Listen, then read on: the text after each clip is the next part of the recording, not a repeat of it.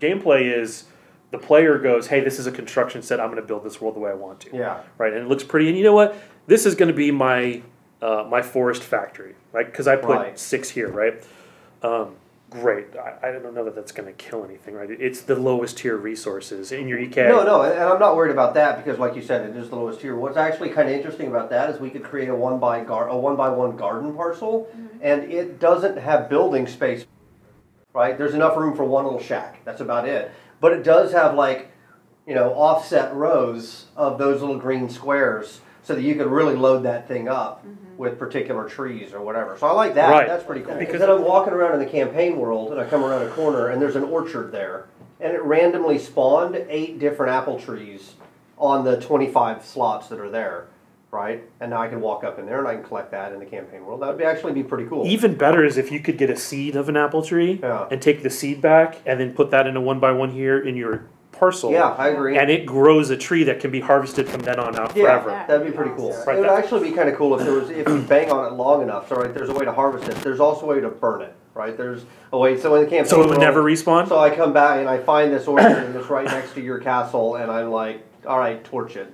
I'll collect all the stuff off at once and then light it up. Next time, wall your trees in. Right. It- I so- think buildings have sockets too, anyways, because we're gonna need we're gonna Well, they'll have need to do that. NPC sockets, but it may be that they don't have wandering. They have stationary NPC sockets. They don't have wandering. Spawners have wandering NPCs, mobs, effectively. Right. In the traditional, actual sense, which is mobiles. Right? Mobile, right? They're Mo- loitering. Mobiles. They're, Their, yeah. their behavior is to loiter around their mound, yeah.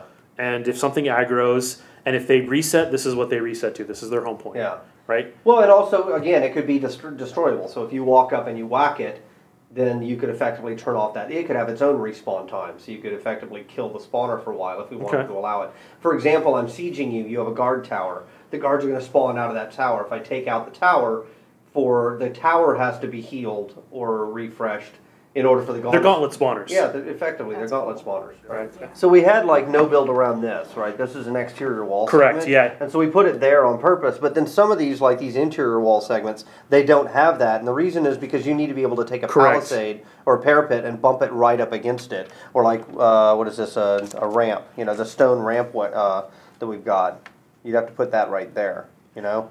And so for that reason, we didn't put a no build around those because we needed to attach to them. We didn't do structures either. Otherwise, you'd have to put the ramp way out here, and that's not a very effective Yeah. ramp. Factories don't live in the EK. Factories only live in the campaign worlds.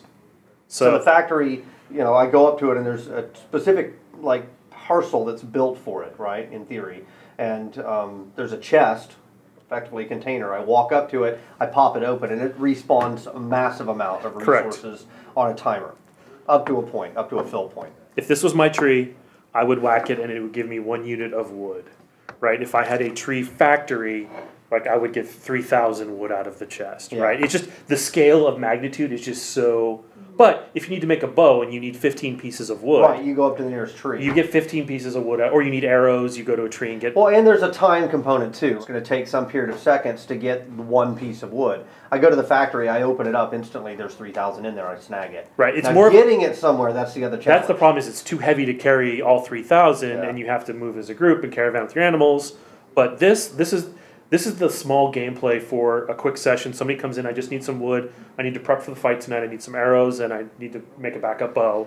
I can go do that anywhere off of trees and not factories. I get, I'm now changing our metaphor. This is no, this is now a giant block of stone as opposed Okay. to being a piece. But I go to a quarry and I get a giant block of stone, and it's got three thousand units of stone. I can carry it as one big piece. If I try and break it apart, like chip off a piece of stone so I can make a stone hatchet, it's incredibly lossy. Like breaking this down into two halves, it also bleeds a bunch of the 3,000. So it's mm-hmm. like, instead of it breaking into two parts of 1,500 each, they're two parts of 1,000 each.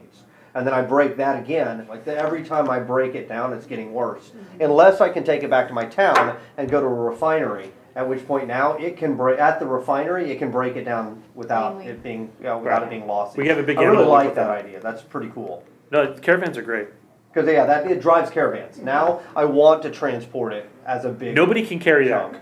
Nobody can carry. it. well, if you have particular areas that are marked as you can put a resource spawner here, and we spread those out, you don't need it.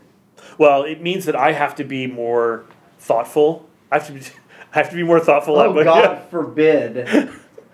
But this kind of has the rules built in Uh, for it. though, Right. if So what I could do is I could blob an area over here Yeah. and say, you know what, they can put So they can't put them right next to each other. he can put two spawners in this area, but I don't care if he puts them up here or up here. But if I manually go in here and say, you can only put a spawner here and you can only put a spawner here, it takes a lot of the creative control out of your hands, right? Yeah, I guess it's true, but you're starting to add rules now about dropping. What can be dropped relative to what else can be dropped, and I was really trying to avoid it. Just because it gets real messy real fast. And it's more work. That's the other thing. Well, actually, it's less work for me. It's more. Yeah, but I, don't, I think I've shown now that I don't care about work for you. I'm trying to protect the artists and the programmers. I'm trying to make sure the players have the creative freedom to go. I, I you know, I kind of want to like this. Oh, okay, so here's one way we could tackle this. So Melissa and I have already talked about this. Is we have a difference between placing this stuff right and prop placement. Prop placement is now I want to go put a plant in this corner. Okay. And we didn't want the plants to be using this same grid because it would be really dumb to like put a plant right here, and now this entire area I can't put uh, you know a cool castle junction Right. because there's a plant there. So we were like, let's just separate props out as a separate thing. And you and prop placement is I'm now running in the around the world and I actually have this thing in my inventory and I snap the head on a spike over here on this spike or whatever. So we could potentially do this stuff with prop placement, right? As opposed to making them modular pieces that are put in the world. Same thing, but then we're not adding another layer of, um, of, of rules on top of this. We're just embedding a layer of rules on top of prop placement. Props then have a no build. I mean, Then they get the no build. the build. no build would be there, but it would be on the prop level, not here. Right. Are we gonna have a maximum number of pieces for building things? We too? probably will. I think you have. I think I Tech's going gonna say to. I think we're yes. Yeah, you I have think we're to. gonna have to. Right. Yeah. I, I know Bill's going to want to have some type of limit on it.